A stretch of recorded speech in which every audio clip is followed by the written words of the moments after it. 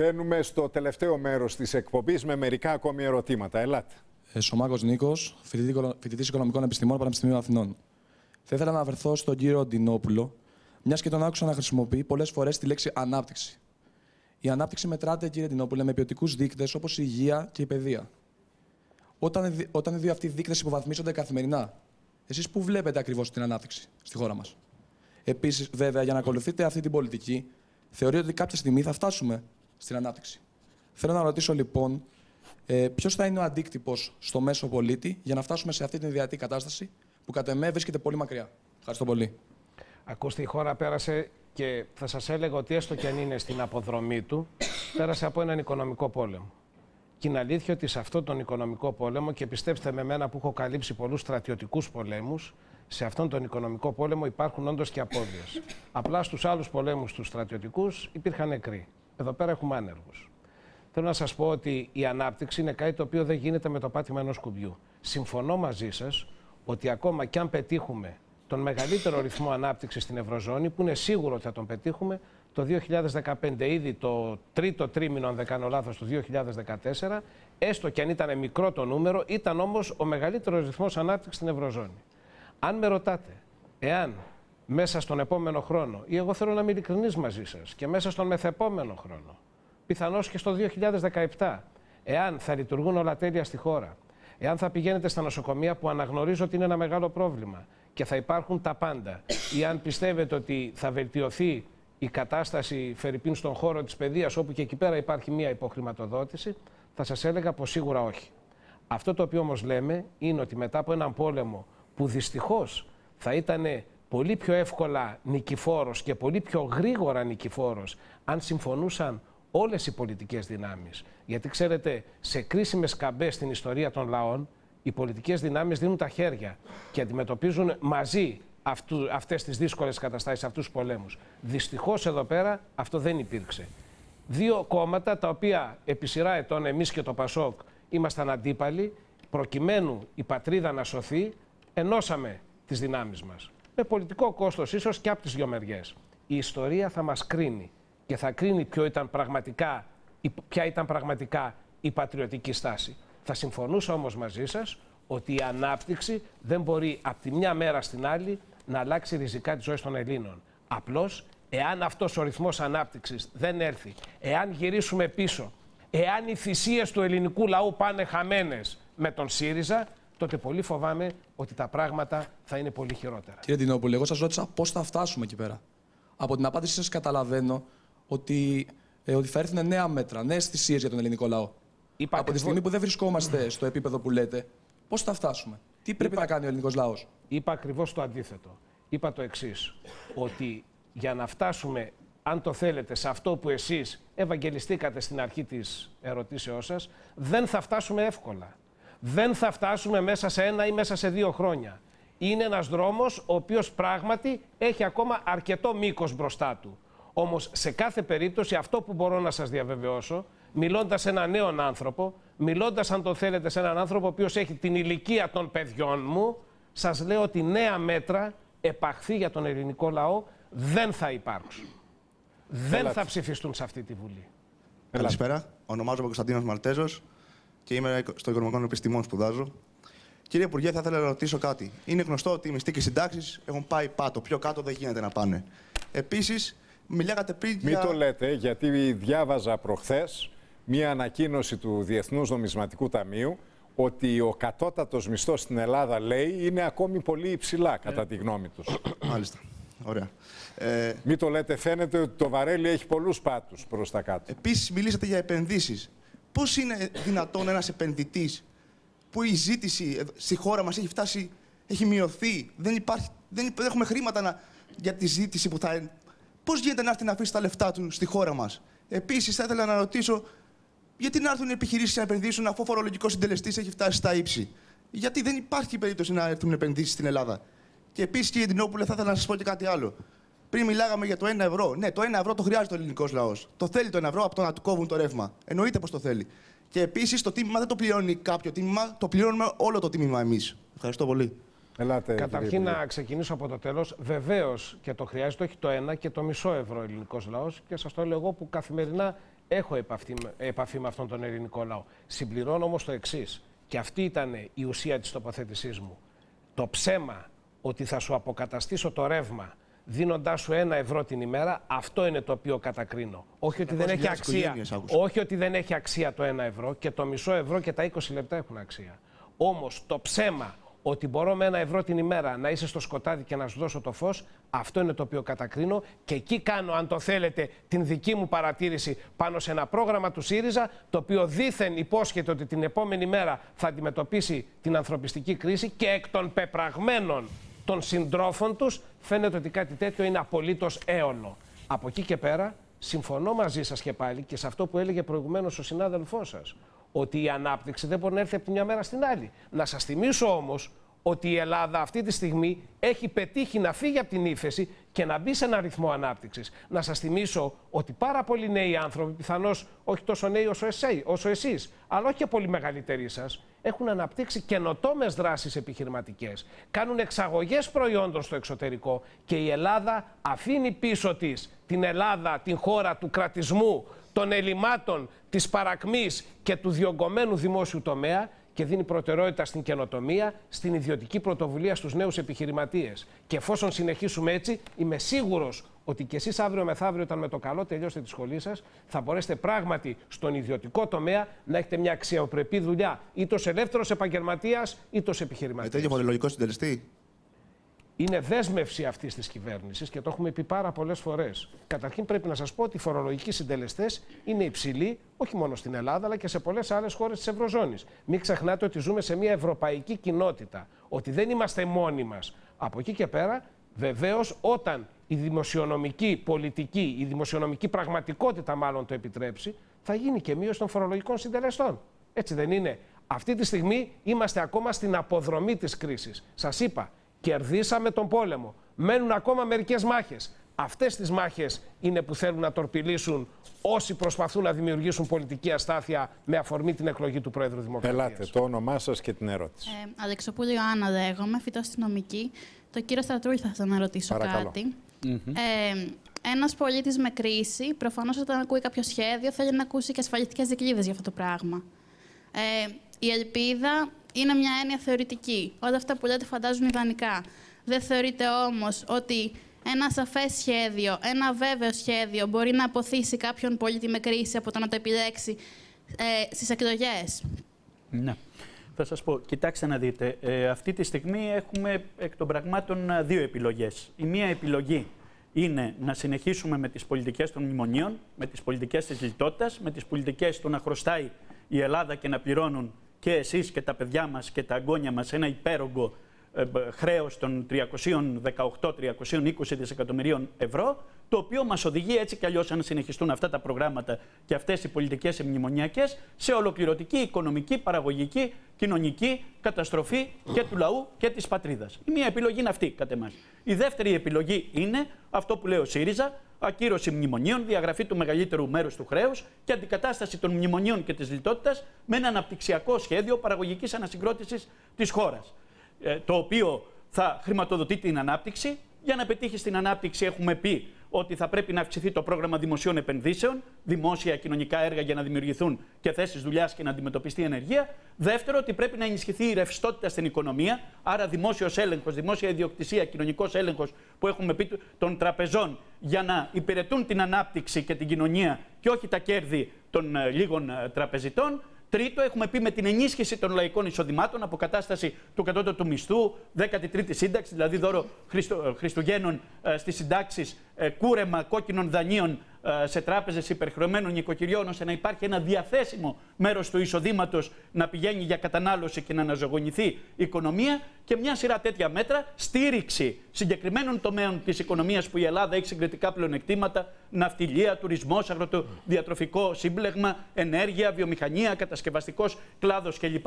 για να μπορέσει να ξαναπάρει μπροστά η χώρα. Έχουμε λοιπόν δύο πολιτικές. Ή τη μία ή την άλλη. Μία είναι διαχείριση του φόβου, αυτό κάνει σήμερα ο κύριος Σαμαράς, η νέα δημοκρατία κυβέρνηση. Φοβίζουν τους πολίτες ότι θα είναι χειρότερα τα πράγματα αν θα έρθει ο ΣΥΡΙΖΑ. Διαχειρίζονται το φόβο γιατί φοβούνται ότι θα χάσουν την εξουσία τους. Και η δεύτερη είναι μια διαχείριση της ελπίδας για καλύτερες μέρες με ένα διαφορετικό σχέδιο. Πάντα υπάρχει ε, ρίσκο στην ε, πολιτική, αλλά από το να συνεχίσουμε την ίδια κατάσταση, νομίζω ότι πρέπει να δώσουμε μια ευκαιρία στην ελπίδα.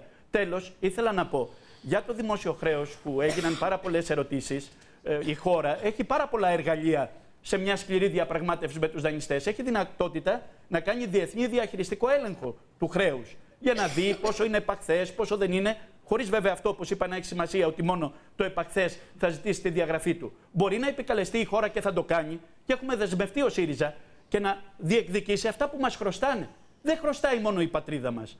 Μας χρωστάνε κιόλα. Είναι 162 δισεκατομμύρια ευρώ χωρίς τόκους το γερμανικό κατοχικό δάνειο και οι πολεμικές αποζημιώσεις των Γερμανών. Πήγε να γελάσει ο κύριος Δινόπουλος. Γιατί, κύριε Δινόπουλο, πήγατε να γελάσετε; Δεν έχουμε συγκροτήσει μετά από πρόταση του ΣΥΡΙΖΑ διακομματική κοινοβουλευτική επιτροπή που έχει να αντιμετωπίσει αυτό το ζήτημα και να πάρει πρωτοβουλίες; Δεν μας τα χρωστάνε αυτά τα πράγματα. Η Ελλάδα είναι η μόνη χώρα που η Γερμανία δεν αποκατέστησε τις οφειλές της από το κατοχικό δάνειο. Το Και ενώ 1900 είχε αρχίσει να πληρώνει, Το, 1900 κύριε Ντινόπουλε. το 1989, Και κύριε Στρατούλη, Και όταν τέλος- η αριστερά ήταν στην κυβέρνηση, τέλος- το ξέρετε, το ξέρετε γιατί δεν το διεκδίκησε τότε από τη Γερμανία όταν είχε γίνει η επανένωση της Γερμανίας; Κύριε- Η Ρωσία το διεκδίκησε. Κύριε- κύριε- Έτσι, κύριε- μην δημαγωγείτε Κύριε- λοιπόν. κύριε μην Ντινόπουλε, τάζετε εκατομμύρια. Εδώ μην το μοιράσατε στα λέτε αυτό. παιδάκια 162 δις τους Κύριε μοιράσατε Ντινόπουλε, απόψε. μην το λέτε αυτό. 162 δις. Μην το, Τότε, λέτε, μην το λέτε αυτό. Όταν του το είχαν πει του Μακαρίδη του Φλωράκη τότε Τελειώστε να πω. Μην το λέτε αυτό, γιατί επικεφαλής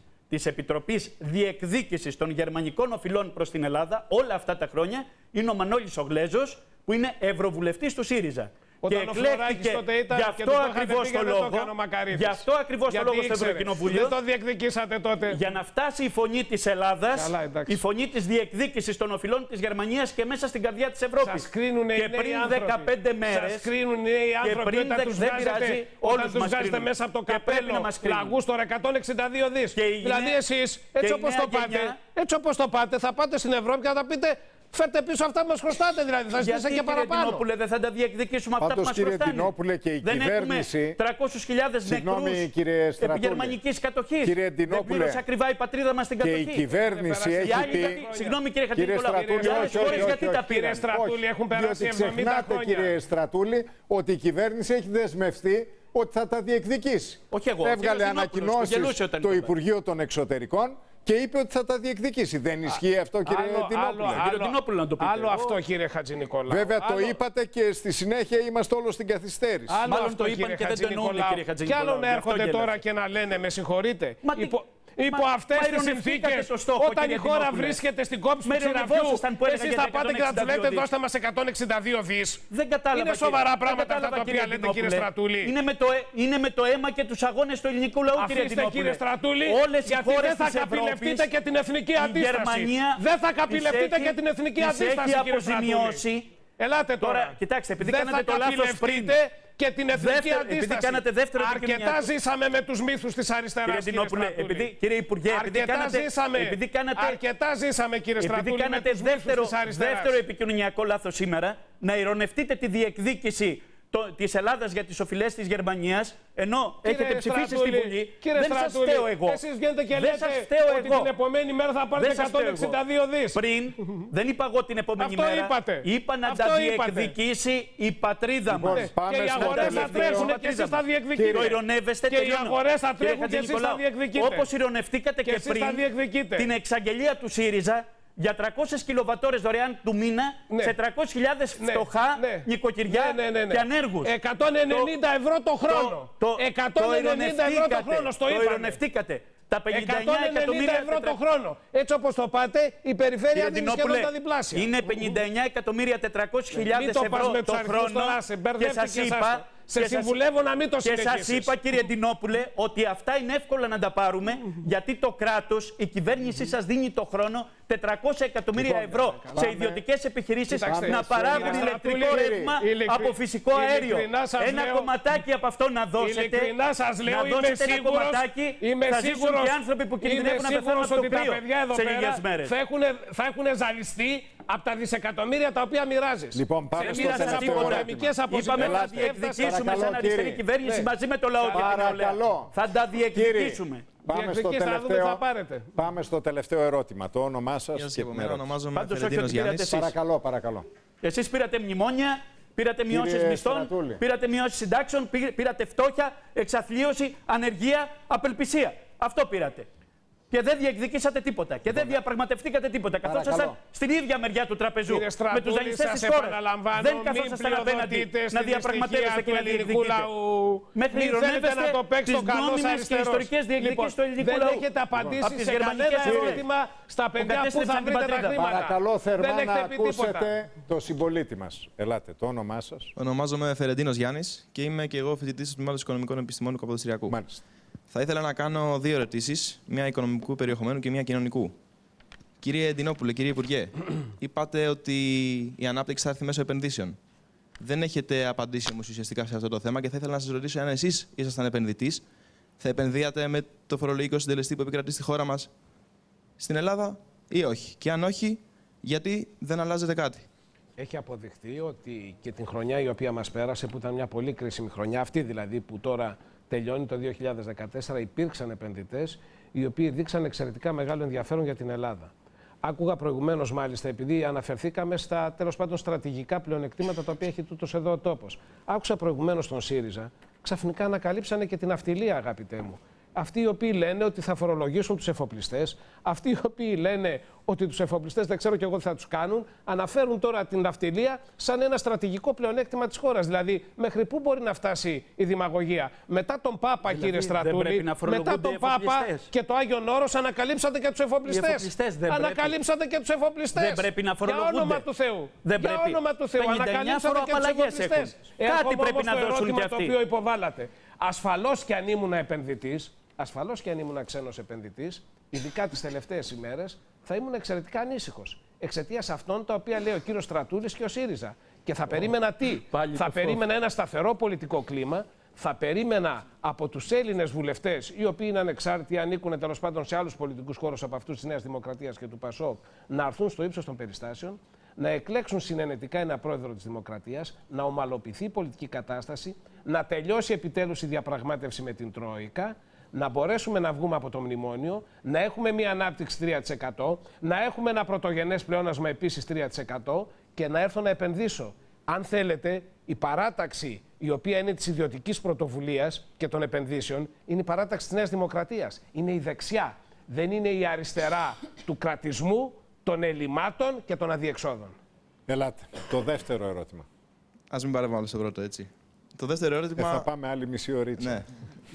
Το δεύτερο ερώτημα αφορά ότι σαν νέος που θέλω να ζήσω σε αυτή τη χώρα, γιατί θέλω να ζήσω εδώ πέρα, έχω την αίσθηση ότι το κράτος, γενικά αυτή η χώρα λειτουργεί κατά τύχη.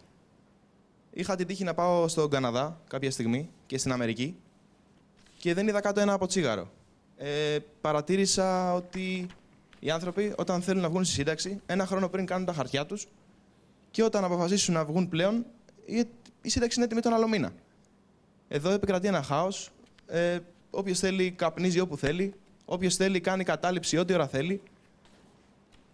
Τι να πω. Και ακόμα και με τους νόμους που ψηφίζετε, κράτησα από τον κύριο Στρατούλη που είχε παρατηρήσει ότι ο ένφια είναι ένας φόρος ο οποίος θα έπρεπε να φορολογούταν από ακίνητα τα οποία, από τα οποία υπάρχουν έσοδα. Εγώ, παραδείγματος χάρη, και ο αδερφός μου είμαστε φοιτητές. και δεν έχουμε έσοδα. Και ο παππούς μας μας έχει αφήσει ένα χωράφι. Γιατί να φορολογούμαστε και να πληρώνουμε έμφυα; Με ποια λογική; Και μέχρι πού είστε διατεθειμένος να φτάσετε την πολιτική σας για να ικανοποιηθούν τα νούμερα που θέλει το μνημόνιο σαν αποτέλεσμα της πολιτικής σας. Μάλιστα. Ο έμφυα είναι ένας προσωρινός φόρος. Ο έμφυα βελτιώθηκε πάρα πολύ μετά κάποιες αστοχίες οι οποίες υπήρχαν. Θέλω να σας θυμίσω ότι φόρος ακίνητης περιουσίας υπάρχει σε όλες τις χώρες της Ευρωπαϊκής Ένωσης. Εγώ ήμουν από αυτούς ο οποίος από την πρώτη στιγμή είχα πει ότι πρέπει να είμαστε ιδιαίτερα προσεκτικοί με τον έμφυα. Σε κάθε περίπτωση όμως θα έλεγα ότι ένα σταθερό πολιτικό κλίμα, ένα κλίμα το οποίο δεν θα τορπιλίζεται από τέτοιες τυχοδιοκτικές πολιτικές σαν αυτές τις οποίες παρατηρούμε τον τελευταίο καιρό από το ΣΥΡΙΖΑ, σαν ένα κλίμα που δεν τορπιλίζεται από το να λέει, από το να λέει ο αρχηγός της αξιωματικής αντιπολίτευσης για τον πρωθυπουργό της χώρας ότι θέλει να γκρεμίσει την χώρα και να πει αποθανέτω η ψυχή μου μετά των αλλοφύλων. Αυτή είναι η δήλωση του κυρίου Τσίπρα. Με συγχωρείτε.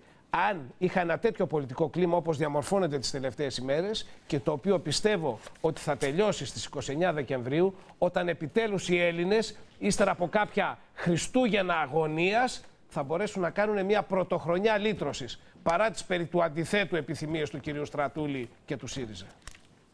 Μία φράση κύριε Στρατούλη για να κλείσουμε. Κοιτάξτε, εμείς ε, πρώτο θα κάνουμε ό,τι είναι δυνατό και καλούμε τους ε, βουλευτές να μην δώσουν τη δυνατότητα με 180 ψήφους να εκλεχτεί πρόεδρος Δημοκρατίας για να μην συνεχίσουν αυτές οι μνημονιακές πολιτικές από την ίδια κυβέρνηση γιατί ο ελληνικός λαός δεν αντέχει άλλο, δεν αντέχει κύριος, άλλα βάρη. Ο κύριος Κουβέλης, δεν ξέρω αν το προσέξατε, έκανε μια δήλωση το πρωί στο Βήμα FM, όπου περίπου αφήνει ελεύθερους τους βουλευτές του, διότι είπε ότι δεν θα θεωρήσει αποστασία αν παρά τη γραμμή του κόμματος κάποιος ψηφίσει πρόεδρο. Νομίζω, νομίζω ότι η Δημάρη έχει βγάλει μια ανακοίνωση που έχει δεσμευτεί ότι δεν θα ψηφίσει πρόεδρο Δημοκρατίας. Το άλλο είναι θέμα να το σχολιάσει ο κύριος Κουβέλης. Εγώ λοιπόν θέλω να πω Πρώτος στόχος είναι αυτός. Θα είναι στο ψηφοδέλτιο και δεύτερο, και δεύτερο, και θα δεύτερο, είναι στο ψηφοδέλτιο και δεύτερο, και δεύτερο, κύριε Αντινόπουλε, είστε, εκπρόσωπο, είστε υπουργός και εκπρόσωπος της Νέας Δημοκρατίας. Ε, στην αποδρομή της εκπομπής, στο τέλος τη εκπομπής, δώσ' μας και μια με, είδηση. Με ρωτάτε πάλι. Ήμουνα και τόσα χρόνια δημοσιογράφος. Φαίνεται, φαίνεται ότι αποδέχεστε ότι δεν θα βγει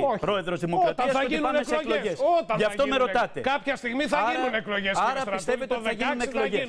Δεύτερο, το δεύτερο που ήθελα να πω, κύριε Χατζηνικολάου, αν με αφήσει αν με αφήσει ο κύριος Δινόπουλος, σε δευτερόλεπτα θα τελειώσω. Το δεύτερο είναι, αφού πάει η χώρα σε εκλογές, εμείς λέμε ότι και μπορούμε και θέλουμε και ξέρουμε να αναλάβουμε τις τύχες της χώρας με τους αγώνες και την ψήφο του ελληνικού λαού και ότι είμαστε πανέτοιμοι να ανταποκριθούμε στις ιστορικές προσδοκίες που έχει εναποθέσει στην αριστερά ο ελληνικός λαός για να βγάλει τη χώρα για μια διέξοδο της χώρας από την κρίση και για μια νέα Ελλάδα που θα τη χτίσουμε από την αρχή μαζί με το λαό και την νεολαία, με εργασία, με δημοκρατία, αξιοπρέπεια και κοινωνική δικαιοσύνη, γιατί αυτό ταιριάζει στο λαό μας και όχι όπως τον κατάντησαν σήμερα, μπανανία και απικία της, ε, της ε, Τρόικας και του χρέους. Μία φράση, κύριε Τινόπουλε. Κλείνουμε.